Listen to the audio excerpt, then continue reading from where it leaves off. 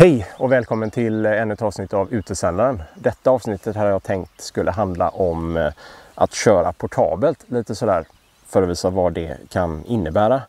Jag kommer inte ha så mycket tid att, att ha några kontakter, QSON som vi kallar det, eh, tror jag. Eh, vi får väl se hur det går. Det jag är inte på världens bästa ställe. Alltså QTH här är inte det bästa, det är en svacka och eh, beroende på vilken frekvens då man eh, hade tänkt att köra är det bra eller dåligt. Om, eh, om man hade kört riks, eh, på riksnivå, alltså inom, inom Sverige eller inom Skandinavien så hade det här funkat alldeles utmärkt eh, på låga frekvenser. Men eh, jag hade tänkt försöka köra lite digitalt eh, och framförallt då ett eh, mord som heter PSK31 eller BPSK31. Vilket är eh, Binary Face Shift Keying eh, 31 baud är det väl, tror jag. Det är alltså teckenhastigheten, det är, är det tecken per minut. Det är ungefär som i skrivhastighet så det är ganska långsamt men det är väldigt smalt då, och då passar det sig väldigt bra på kortvåg. Och idag så har jag med mig eh, min radio som jag gillar att använda Pellicases. Och ja, det är en, inte en jätteliten Pellicase och den väger väl en sådär, kan det vara 5 kilo kanske. Men eh, i den så ligger en 5 watts radio. Kommer öppna den sen. 5 watt är inte jättemycket, det är det vi kallar för QRP. Vilket är eh, eh gammal eh, CW eller morsekod Eh, Eh, förkortning för låg effekt. Så QRP anser man ofta vara 5 watt då, eller lägre. Det kan vara 10 watt eller lägre på kanske telefoni då, SSB. Eh, här är min antenn. Och ja, det, det, är en kompromiss av en antenn. Den väger också sin beskärda del. Sedan har jag med mig en laptop. Eh, den här är inte vakuumförpackad höll på att säga. Den är inte eh, ja, förpackad för att tåla regn de här väskorna. Antennen är ju inte så regnkänslig. Så. Men elektroniken är ju det. Så en pellicase som man kan slänga runt. Kanske man inte vill göra det med sin radio och sin elektronik. Men eh, stöter man i den så är det inte så farligt då. Och den tål ju regn. Den här laptopen är en Panasonic CF19. En gammal Eh, den var inte grön från början, den skulle vara silvrig då, men den blev ju grön. I och med att jag tycker grönt är skönt då, så blev det på det viset. Ehm, den tål ju regn i alla fall. Så jag har haft ute den här i ösregn och eh, det funkar. Förutom att ja, man kan inte använda pekplattan så bra då när det ligger vatten på den. Men, eh, den är eh, hygglig. Det är en i5 så att den har lite kräm då så man kan köra de här mer krävande morden då som VS, JTX och, och så vidare eh, lätt på den. Sen eh, har jag med mig lite, ja, för att driva den där då så, så behöver man eh, eh den behöver 16 volt in och har man ett 12 volts batteri så behöver man någon form av eh, inverterare eller nej, konverter eller Upverter, vad kallar man det? Ja, och det är en sån då.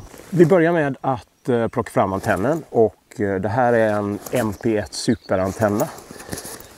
Då ska vi se hur den ser ut. Jag sa ju att detta var en kompromissad antenn. Och eh, anledningen varför den är kompromissad är att den har den här induktorspolen, eller ja, förkortningsspolen. Eh, vad kallar man den? Loading coil. Eh, kommer gå igenom lite mer vad det innebär i, i framtiden, ja. inte just detta då. Det innebär att den är ganska kort och det är en vertikal sådan. Jag har lite roliga material här. Om du tittar på såg mitt material antennmodelleringsavsnitt där med stål så är detta titan istället.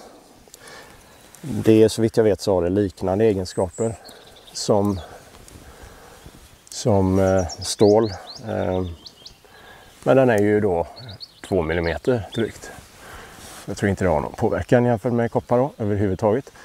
Den är så och det är som en ja, VIP-antenn. Eh, man skruvar helt enkelt ihop den här på det här viset. Den kommer ju lite, lite vad heter det,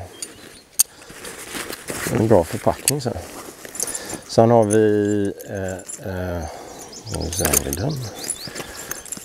En koax är alltid bra. Alltså man behöver en koaxialkabel. Jag gillar att använda RG58 eh, även ute. Jag är inte för de här, korta, eh, de här tunnare varianterna. 174 och vad de heter. Utan eh, inte tjockare än RG8 är onödigt. Tycker jag. Men eh, det är inte så mycket vikt då. Den här kommer, det är en vertikalantenn, MP1 superantennen. Och eh, den, den betyder att den kommer att sitta vertikalt. Den kommer inte hänga i något träd eller något liknande. Det som är trevligt med denna är att den kommer med den här eh, trefoten som man lätt då kan skruva ihop på det här viset. Det finns även ett större stativ, någon form av kamerastativ. Eh, som var egentligen den modellen jag köpte och så har jag köpt till det här. Eh, den är väldigt trevlig och den har inte sådär jättedålig effekt. Jag har försökt modellera den här antennen och eh, får vi fram då att den har ungefär på 20 meter i alla fall, 20 metersbandet så har den ungefär en förlust på, eller en skillnad jämfört med en, en, eh, en optimalt, eh, eller ja, en någorlunda lågt hängande depål. Det beror på vilket jordplan man använder då. Men eh, då ska vi se, då ser den ut så. Det är sektioner som man som man helt enkelt skruvar ihop eh, aluminiumstavar. Och så kommer den här laddkoilen. Och så har vi vippen här, antennen. Det finns även en som man skjuter ut men den här, jag menar titan eh, antenn så, den är ganska hållbar. Det är ganska bra konstruktion. Och då är det då tanken att man skruvar fast den här det är en väldigt trevlig antenn i och med att man kan få upp den vart som helst. Jag försökte modellera den antennen i mjukvara i XNEC 2C för att ta reda på vad, vad den här korta. Så den är ju förkortad, den är drygt 2,5 meter eller något sånt där. Och om man tar på 40 metersbandet då så skulle en fullängds eh, kvartvågs eh, vertikal vara drygt 10 meter. eller lite mindre va? Ungefär 10 meter då. Och det här är ju 2,5 meter då. Vad var skillnaden i, i förlust? Och eh, ja, det är lite svårt att veta exakt vad denna är. Eh, jag har inte mätt, eh, mätt upp den här. Eh, det skulle man kunna göra med nästa steg. Se vad det är för eh, vilken förlust man får i den. Hur som helst, eh, skillnaden på 20 metersbandet som jag fick fram i alla fall var att det var 3 dB skillnad i, i, ja, jämfört med en fullängds. Och det är inte jättemycket. Det är helt okej okay jämfört med många andra antenner. Med denna så följer det då med ett antal, eh, ja man kallar det counterpoise, motvikt på svenska. Eh, man kan ju kalla det för jordplan, eh, även om det här kanske inte riktigt är ett jordplan på det viset. Det är ju bara några trådar som hänger ut då. Så man får med en, eh, en tråd som är förklippt, kvartsvågs eh, eh, förklippt eh, jordplan med eh, som man kan då köra på flera olika band. Den här har stöd för, bara den här coilen då, eh, har stöd för eh, ja, kunna köra från 10 till, eh, är det väl va? 10 till 40 meter. Eh, och man kan ju få in den beroende på vad man har för jordplan så kan man ju få stämma av den till alla frekvenser däremellan, vilket är ganska trevligt. Ehm, mm. Jag har gjort några egna här, till exempel en, man får lite fler jordplan, eh, fyra extra trådar då för 20 meters bandet. Och det ihop med fyra trådar för resten av eh, banden får man lite extra. Ja, där har vi två stycken 40 meters. Eh, då de ska man hänga på. Och där är fyra för 10 och 11 meter. De är, jag tror två av dem är klippta för 10 metersbandet och två av dem är klippta för CB-bandet.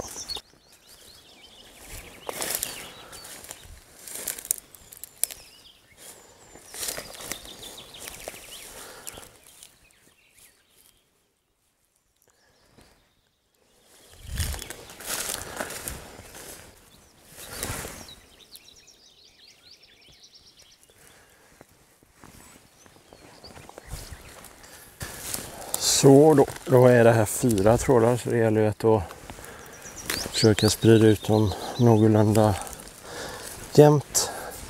Här är det lite, lite jobbigt med kortbord då att allting blir så himla långt.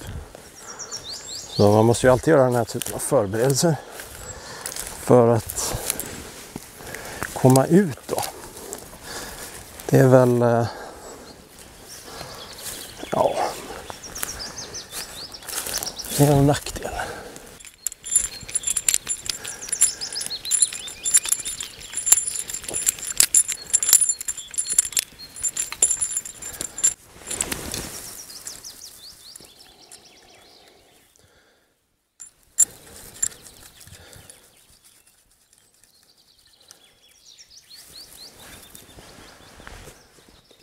Då har vi kommit fram till själva stationen och eh, Den är lite jobbig att öppna. Ser lådan ut så, ganska fullpackad med grejer. Det här är eh, ett, eh, ett USB-ljudkort som är lagom avskärmat mot avstörningar och liknande. Då, som dessutom eh, triggar igång radion, alltså PTT, sänd eh, sändomkopplaren, SM-omkopplare, sänd mottagaromkopplare heter det på svenska.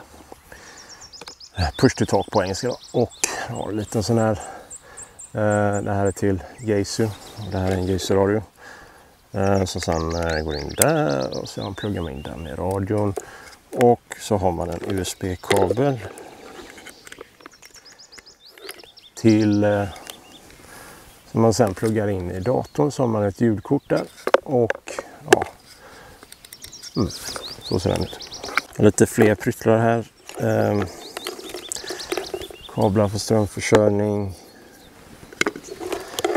Eh, för att jacka in på 12 volts batteri. Sen föredrar jag de här powerpolen. Det är väldigt många av oss som kör eh, portabelt eller på annat vis som föredrar powerpole. Så det är för att jacka in på 12 volts batteri.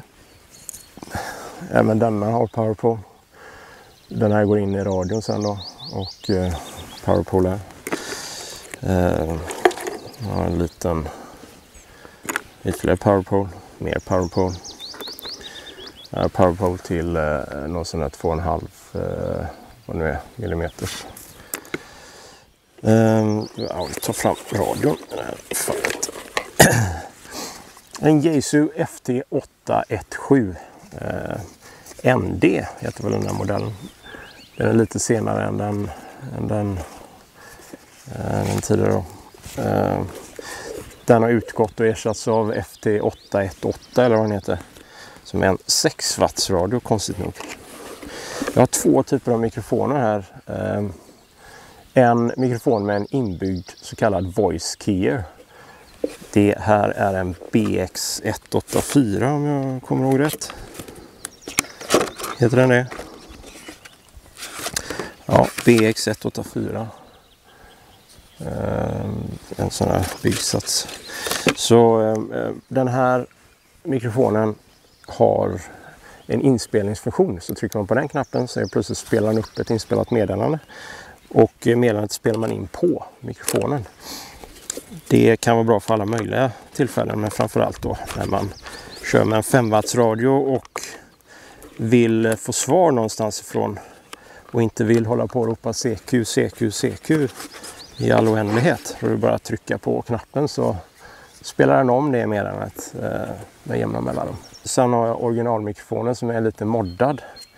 Eh, modifikationen är att den är eh, betydligt, den klipper eh, det lägre registret. Vilket är bra för att kunna komma igenom. Eh, det är väl det. Eh, I locket här så har jag alltid pennor och loggbok och sedan är det ju bra att veta vilka frekvenser man, man jobbar på. Så lite frekvenstabeller där, bandplanen eh, och lite, lite fusklappar sådär med vad man ska sända och inte och vart man ska sända både på SSB och, och eh, ja, digital PSK i det fallet där. Eh, om man inte har dator då så är det en manuell eh, loggbok. Eh, eh för så ska allting pluggas in. Den ska in i, den ska in i dataporten där behöver vi plugga in antennen här också såklart. Glömde installera den här, en eh, choke. Det är alltid bra att ha. Eh, så att man inte får, eh, får RF på utsidan eller på, på själva manteln på koaxialkabeln.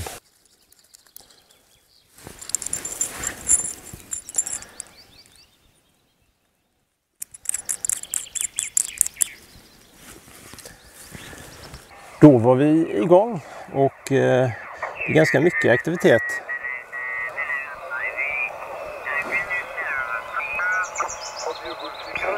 På 20 metersbandet. Det är ju den eh, lite soligare delen av eh, året i Europa nu och eh, solen påverkar jonosfären genom att den laddar jonosfären och då eh, når man längre lättare då. Det är ju väldigt många ryska stationer här och gissningsvis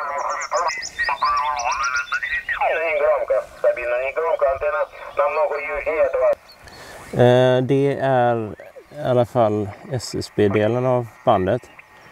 Eh, vi tänkte köra lite längre här då. Det är detta. Det här är då eh, det som kallas för fasskift nyckling. Eh, och det ser ut så där. Genererar en hel del. Eh, till exempel har vi någon som kör CQ.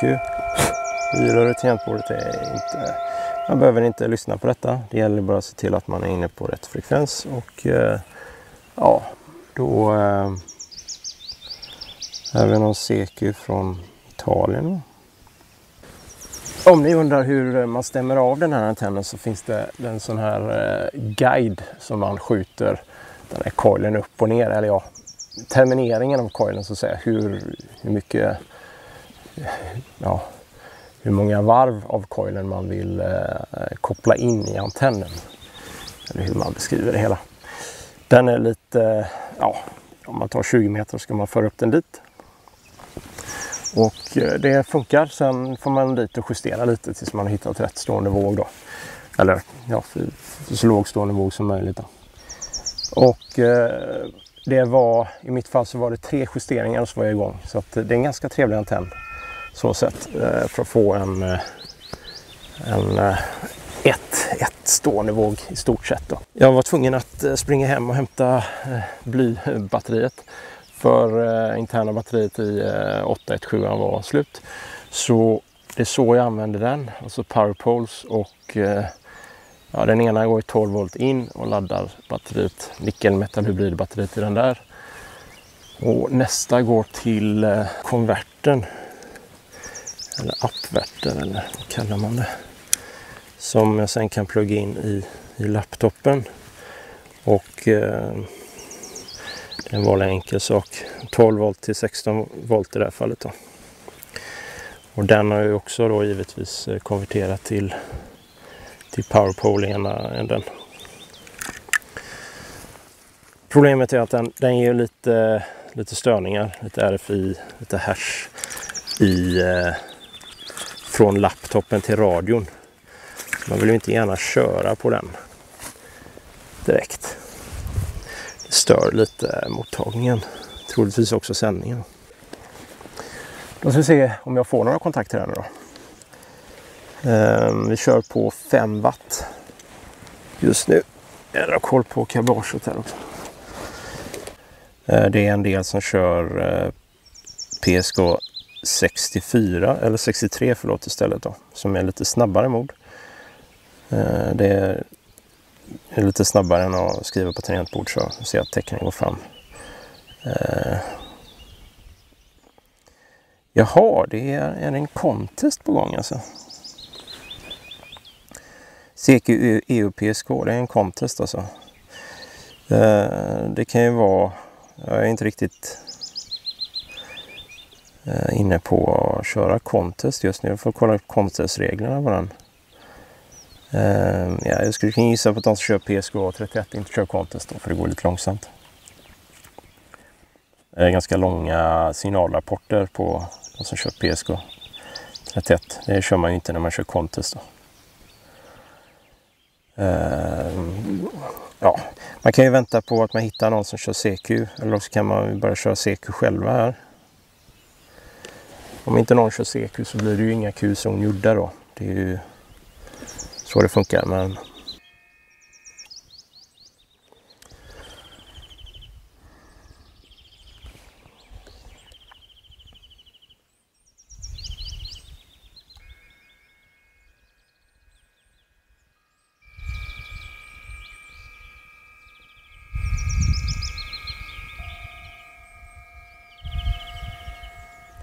Yes, då har vi en eh, kontakt. Då kommer han komma tillbaka till mig med eh, sin rapport. han har ju kollat upp mig då. Eh, jag får 5-9 kan jag fylla i där. Alessandro. Han är 59 år. Eh,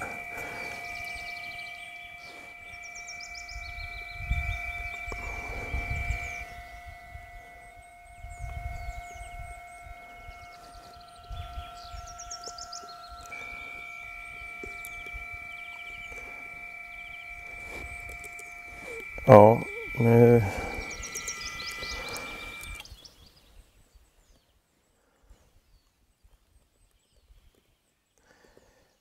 Det som är bra med detta är att jag kan redigera det här innan jag kommit dit. Jag håller på att sända det.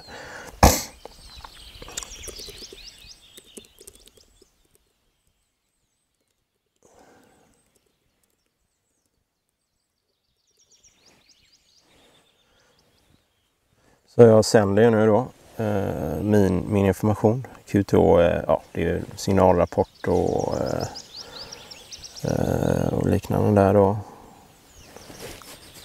Skulle skrivit i att den skickar ut 599 automatiskt.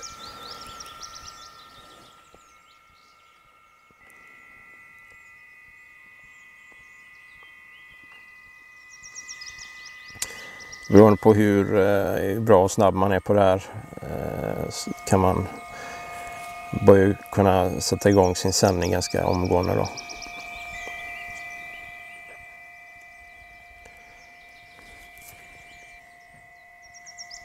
Han har eh, ja, läst mig då, eller kopierat mig, så att säga. copy som man säger. Att man har tagit emot meddelandet. Och eh, nu tackar han för, eh, för sig då. Och det kommer jag också göra helt enkelt. Så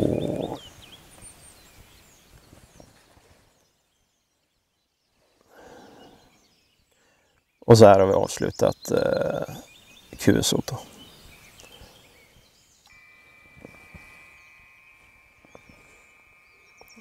Och ja, då, eh, den har ju loggat tid och så vidare. Eh, se där.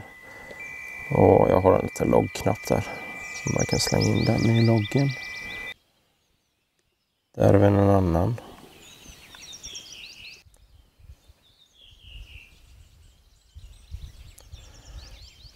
Coolt. Har vi kontakt.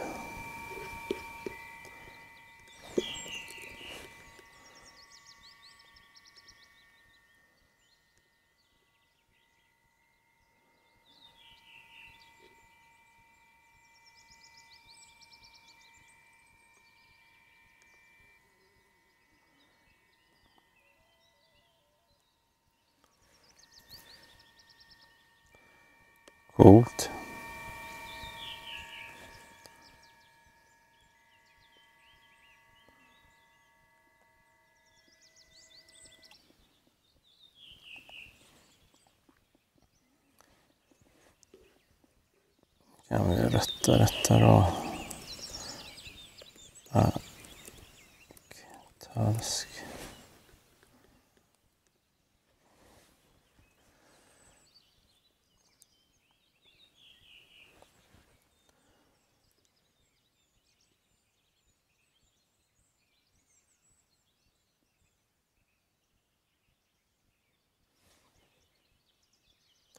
Ja, QSL-info kanske man inte behöver.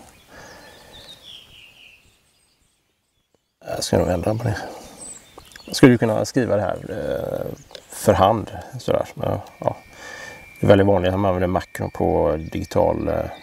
Eh, eh, Men det blir ändå lite som att köra mer. Det är inte riktigt som de här FT8-moderna och liknande då, utan man får, oj, hamnade han lite snett där. Han försvann i QRM. Det är någon störning här.